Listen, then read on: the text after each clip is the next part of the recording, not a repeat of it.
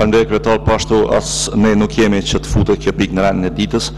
mendojmë që kjo kërkesë siç kemi vepruar deri tash, pra kjo gatishmëri e kryeministrit që është shprehur në, nëpërmes atyre letrave, duhet të shkojë në kryesi, ta diskutojmë në kryesi dhe pastaj mund ta fusim si rend dite në, në seancë, nuk është që është e urgente, si që tha dhe kryetari klubit parlamentar të Lidhjes Demokratike të Kosovës, dhe mendoj që kjo vetëm sa po shkon në dëm të të idesë së raportimit të kryeministrit për shkak se për çdo herë më shumë po ngushtohet hapësira që deputetët të jenë të informuar